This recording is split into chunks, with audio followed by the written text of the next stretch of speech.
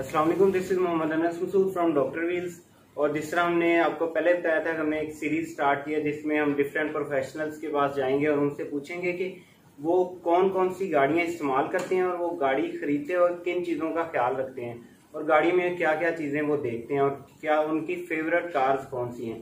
आज हमारे साथ मलिक नासिर राजपूत साहब हैं और इनका गाड़ियों का बिज़नेस है और इनसे हमारी बात हुई। इस काइंड इनफ कि इन्होंने हमें टाइम दिया और हमारे लिए टाइम निकाला इंटरव्यू लेके एग्री हो गए।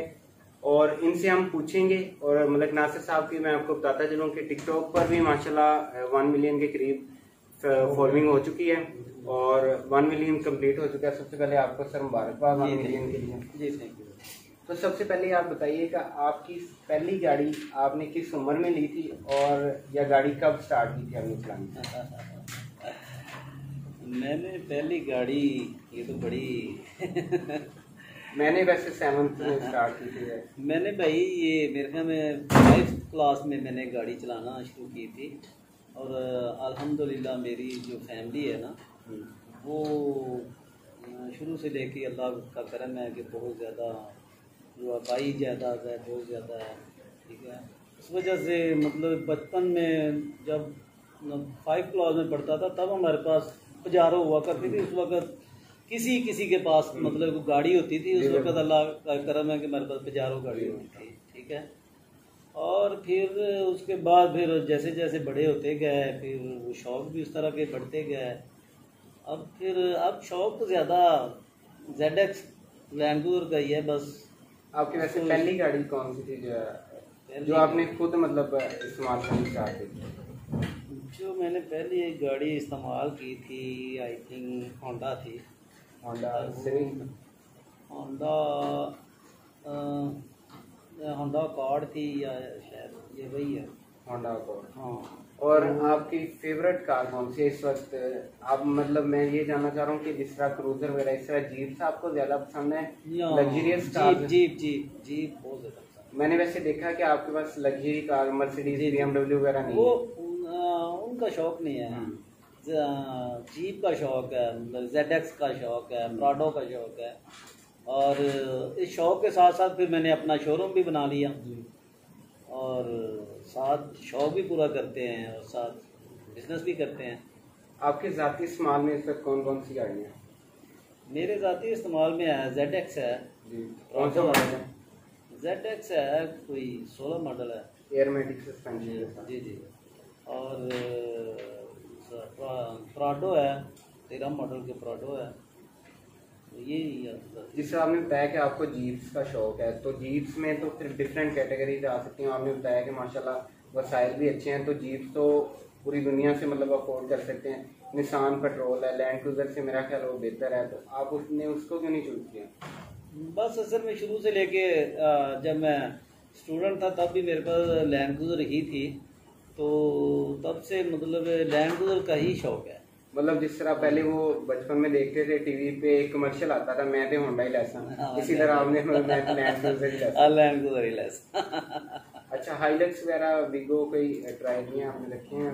रखे तो हुए हैं लेकिन जाती इस्तेमाल के लिए। जाती इस्तेमाल के लिए अच्छा आप जब भी कोई गाड़ी ज़ाहिर है बेशक आपको लैंड क्रूजर पसंद है लेकिन उसकी जनरेशन टाइम के साथ चेंज होती रहती हैं। जब आप नई गाड़ी खरीदना खरीदने का सोचते हैं तो आप क्या क्या चीज़ें जहन में रखते हैं? क्या क्या फीचर्स देखते हैं? क्या क्या चीज़ें मद्देनज़र रखते हैं नई गाड़ी खरीदने से पहले? गाड़ी नहीं, बस जो भी न्यू मॉडल आता है, वो शौक बड़ा होता है कि वही ख़रीदें, ठीक है? अभी मतलब ये सोलह वाला मॉडल चल रहा है तो इसलिए वो सोलह वाला मॉडल रखा हुआ था। उससे पहले, अब चीज़ों का मतलब उसमें तो देखा ही जाता है ना कि कोई भी चीज़ गाड़ी जैनवन हो या मतलब उस चीज़ों का वो तो हम शोरूम का काम करते हैं वो, वो तो आपका एक्सपीरियंस है। इसके अलावा अगर मुझे कोई चीज़ मिसाल के तौर पर पसंद है मैं चाहता हूँ मेरा दोस्त भी रो ले मैं इसको कन्विंस करता हूँ कि यार इसमें ये चीज़ अच्छी है ये चीज़ अच्छी है अब लैंड क्रूजर के हवाले से एक तो ठीक है वो गाड़ी अच्छी होनी चाहिए। अब फीचर्स के हवाले से अपने किसी दोस्त को कन्विंस करना चाहिए यार तुम भी ये लो वो मतलब निशान पेट्रोल लेने जा रहा है। लेकिन आप कहेंगे कि नहीं यार लैंड क्रूजर लेनी है तुमने जिस तरह दोस्तों में आपस में होता है। तो आप किन फीचर्स की बिना पे उनको करेंगे कि ये अच्छी है Land Cruiser Land Cruiser comfortable है और देखें ये आप कह सकते हैं कि जो हमारे मुल्क के जो वज़ीर अजम है वो भी लैंड क्रूजर में फिरते हैं। ठीक है? इससे बड़ी और क्या बात होती है? वो तो वज़ीर आज़म वो तो एक रवायत हो गई। नहीं एक बात कर रहा हूँ कि एक वज़ीर अजम है वो भी लैंड क्रूजर में फिरता है। हम्म। और हम भी लैंड क्रूजर पे फिरे तो अल्लाह के करम है ये मतलब है यही दोस्तों को कहेंगे यार लैंड क्रूजर मतलब सबसे बेस्ट है हम्म। मतलब वो गाड़ियाँ जो हमारे मुल्क के बड़े बड़े लोग अमीर लोग यूज़ करते हैं जीपों में हम्म। वो लैंड क्रूजर ही है ठीक है ना तो वो इसलिए मतलब लैंड क्रूजर बहुत अच्छी गाड़ी है तो फीचर तो फिर आपको पता ही है वो फिर तो फिर हैं। जितनी ज़ाहिर बात है वो कंफर्टेबल गाड़ी है या जितनी वो महँगी है उस हिसाब से फीचर भी होते ही हैं। अच्छा लैंड क्रूजर का ना एक इशू होता है जो एयरमेटिक सस्पेंशन आप उससे वाकिफ होंगे। एयरमेटिक सस्पेंशन या हाइट एडजस्टमेंट जी, जब ऑफ़ रोडिंग पे ज़ाहिर आप जाते होंगे ऑफ़ रोडिंग पे कहते हैं कि एयरमेटिक सस्पेंशन का ना इशू बनता है लैंड क्रूजर का। तो आपको कभी मैंने कभी मतलब उस पर चलाई नहीं रैली वगैरह पे मतलब शौक नहीं आपको नहीं नहीं रेडी का। अच्छा गाड़ी तो आपकी फेवरेट है लेकिन हर गाड़ी में ना कोई नॉन फॉल्ट होते हैं या बंदे को ना दिल से यार ये नहीं होना चाहिए था इसमें या ये होना चाहिए था। कुछ चीज़ें नापसंद होती हैं कुछ चीज़ें पसंद होती हैं। नापसंद कौन कौन सी चीज़ें हैं लैंड क्रूजर में नापसंद? मुझे तो उसकी हर चीज़ पसंद है। नापसंद उसमें क्या हो सकता है? नापसंद? अच्छा हमारे पास ना वो घर के इस्तेमाल के लिए एक ही शौक था पहले घर वालों को लैंड क्रूजर ना 96 मॉडल पुरानी। उसका ना कहते थे जब भी कोई आता है, वो। गियर का ना एक लैग सा थोड़ा सा उसके अंदर आता है और ब्रेक्स का इशू था। इस तरह वो बड़ी ना अनोइंग सी चीज़ लगती है। जब भी हमारे बड़े वो कहते थे यार ये ना गुस्सा आता है इसकी चीज़ पे। एक तो गियर बड़ा लैग से चेंज होता है दूसरा ब्रेक्स नहीं अच्छी इस गाड़ी की। आपका क्या ख्याल है? इस तरह आपकी जो जेड एक्स है इसमें भी कोई चीज़ आपको नापसंद होगी? मैंने 96 वाली गाड़ी की आपने ज़िक्र किया मैंने यूनिवर्सिटी तब मैं एलएलबी कर रहा था।